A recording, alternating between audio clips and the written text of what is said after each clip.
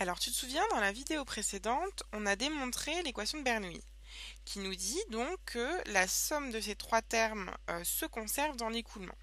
Et donc on a vu finalement, on avait démontré cette formule en partant du fait que l'énergie était conservée dans l'écoulement. Et donc finalement, ce qu'il faut retenir, c'est que cette équation de Bernoulli, c'est rien d'autre qu'une équation de conservation de l'énergie, mais adaptée à la mécanique des fluides et à un certain type d'écoulement, comme je t'ai dit. Donc un écoulement stationnaire, incompressible, etc. Donc on va pas rentrer dans tout ça parce que pour nous ça restera globalement assez simple. Euh, mais donc voilà, il faut bien se souvenir que c'est une équation de conservation d'énergie. C'est juste que si tu veux, on pourrait redémontrer tout ça à chaque fois, mais comme tu as vu, c'est pas tout simple. Et comme finalement la formule ici est assez simple et, euh, on reconnaît bien les trois termes, donc les termes du, travail, le terme d'énergie potentielle et le terme d'énergie cinétique, bah finalement c'est plus simple d'apprendre cette formule-là directement. Donc on va essayer de l'appliquer dans un exemple.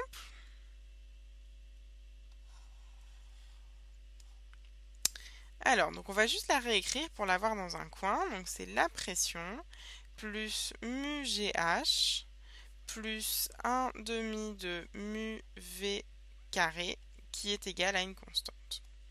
Donc ça c'est notre équation de Bernoulli.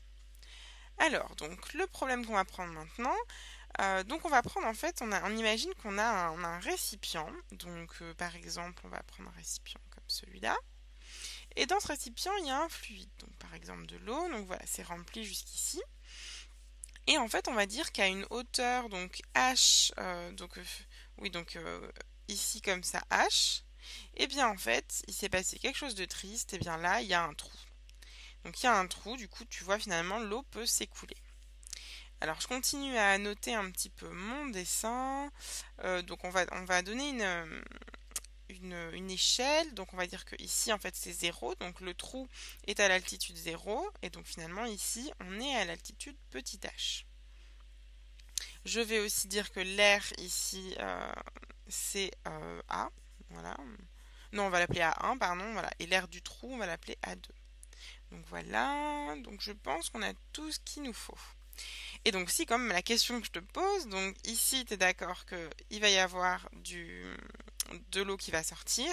Et la question, c'est quelle est la vitesse de sortie, donc on va l'appeler oui, V2, donc euh, quelle est la vitesse de sortie V2 du trou euh, en fonction de H, la, hauteur de liquide dans le récipient. Alors si là il manque quand même un petit quelque chose, en fait on va émettre une hypothèse.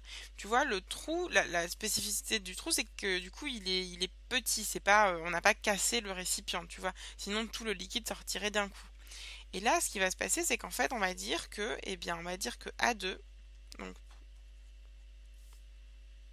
donc, on va dire que A2, eh bien, c'est tout petit par rapport à 1. Et par exemple, on va dire que c'est 1000 fois plus petit qu'A1. Alors on aurait pu dire autre chose, d'ailleurs on verra, on va prendre 1000, mais on, verra après dans le calcul comment ça s'interprète. Donc finalement, ce qui va se passer ici, c'est que l'eau qui est là va descendre et partir euh, ici par le trou d'air A2. Donc finalement, mon, équation de Bernoulli, je peux l'appliquer depuis 1 ici quand on est à la surface de l'eau, jusqu'à 2 quand on est euh, sorti du récipient. Donc c'est ce que je vais faire. Donc au début, bien je sais que P1, donc P1 il est ici, et bien là j'ai P atmosphérique. Donc P1 c'est la pression atmosphérique. Ensuite, euh, donc il me faut H1, donc H1 ben c'est rien d'autre que H d'après ce que j'ai dit ici avec l'axe.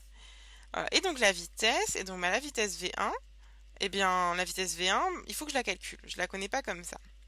Alors tu te souviens, dans la vidéo, donc, il y a deux vidéos de ça si je dis pas de bêtises, on a démontré euh, l'équation de continuité, ou l'équation de conservation de la masse. Et on avait dit que finalement ça voulait dire que, donc, euh, que, v, que VA en gros était constant, le produit VA. Donc nous ici on peut appliquer ça pour calculer V1 puisque je peux dire que V1 à 1, c'est égal à V2 à 2, selon l'équation de continuité. Et je vois que je connais V2, je connais A2, et je connais A1, donc tout, va bien. Je peux calculer V1. Et donc ça me dit que V1, eh bien c'est égal à V2 A2 sur A1. Et d'après ce qu'on voit ici, je vois que A2 sur A1, eh bien c'est 1 sur 1000. Donc je vois que V1, c'est égal à V2 sur 1000. Hop. Donc voilà. Euh, donc maintenant, j'ai tout ce qu'il faut pour 1. Il faut que je trouve maintenant ce qui se passe en 2. Donc en 2, donc là, on va faire un petit trait comme ça. Donc en 2, P2. Ben, P2, finalement, là, il y a un petit, un petit piège, tu vois. P2, c'est la pression atmosphérique, parce que c'est la pression au niveau du trou, et au niveau du trou, justement, il n'y a plus la paroi du, du récipient, donc c'est pression atmosphérique. C'est exactement comme ici.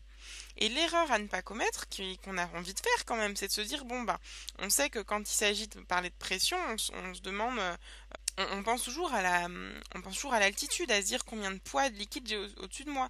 Donc l'erreur, ça peut être, ben, je prends, je dis que au niveau du trou, la pression est la même qu'en ce point-là. Et ça, c'est hyper faux. Parce que tu vois, ici, il y a effectivement le poids euh, de, de liquide et tout, mais il y a aussi la paroi. On est vraiment euh, au niveau de la paroi. Donc en fait, il y a une pression qui est bien plus élevée d'ailleurs qu'ici. Alors que ici, ben, c'est juste la pression atmosphérique. Donc on dit que P2, c'est P atmosphérique. Ensuite, donc, euh, il nous faut H. Donc, H, c'est facile. On a posé est égal à 0. Donc, c'était fait exprès. Tu vois, ça simplifie le problème. Donc, H2 égale 0. Et V2, ben, V2, c'est ce que je cherche. Donc, V2, c'est mon inconnu. Donc, maintenant, il ne me reste plus qu'à appliquer mon équation de Bernoulli. Donc, hop, on y va. Donc, donc ça me dit que P, donc je remplace directement. Hein. tu, tu suis bien. Donc, P1, c'est P atmosphérique plus mu GH1, c'est juste mu GH. Donc mu GH plus 1 euh, demi de euh, mu V et V1, on a dit que c'était V2 sur 1000. Donc ça me fait mu euh, V2 au carré sur 1000 fois 2, 2000. Hop.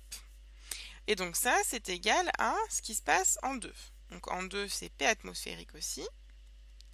Plus mu GH, mais H vaut 0, donc plus 0 et plus, donc 1 demi de mu euh, V2 au carré, donc 1 euh, demi de mu V2 au carré.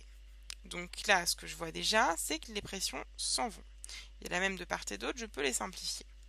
Donc maintenant, donc on se souvient, ce que je cherche, c'est V2. Donc je réécris ça un petit peu plus proprement pour voir un petit peu mieux. Donc ça me dit que j'ai mu GH plus mu... Euh, donc d'ailleurs là, tu vois, je vois que je peux simplifier les mu. Donc en fait, on va directement simplifier les mu. Donc il y en a un là ou là. Donc il y a celui-là, celui-là et celui-là du coup. Donc j'écris directement que j'ai GH plus euh, V2 au carré sur 1000. Euh, sur 1000 au carré d'ailleurs. Ouh là là, non mais j'ai fait une grosse bêtise. Là, attention, donc c'est 2 fois 1000 et 1000, il est au carré. Hein. C'est ça là, tu vois, il faut faire attention. Euh, dans l'énergie cinétique, on est d'accord, le, carré il prend tout. Donc si V1, euh, il était où? Donc voilà, V1 est égal à V2 sur 1000, et eh bien le carré il porte aussi sur 1000. Donc ça s'écrit comme ça. Donc si je reprends, hop, on va remettre le 1 demi, tu vois, c'est mieux. 1 demi, V2 au carré sur 1000 au carré. Donc 1000 au carré, bah d'ailleurs je peux écrire, c'est en fait 10 puissance 6, c'est 10 puissance 3 puissance 3 fois 2, donc 10 puissance 6, donc 1 million si tu veux, qui est égal juste à 1 demi de V au carré, de V2 au carré. Donc là, tu vois, je pourrais passer ça de l'autre côté et me dire, bon, ben voilà, on va euh, avoir 0,99999, euh, mais tu vois, ça n'a aucun intérêt parce que vraiment, au niveau des ordres de grandeur, c'est tout petit. Donc pour simplifier, je peux carrément dire que je néglige ce terme-là. Je dis que cette vitesse-là est tellement faible que ça donne une énergie complètement négligeable. Et du coup, il ne me reste plus qu'à résoudre cette équation-là, et qui me donne donc que V2 est égal à racine 2 de GH.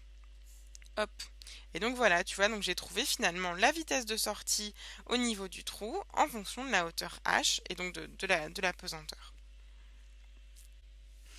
Donc ben voilà, euh, tu vois, donc c'était pas un problème très compliqué, puis ça te montre une première application euh, de la loi de Bernoulli plutôt facile. Donc je te dis à très vite dans la prochaine vidéo.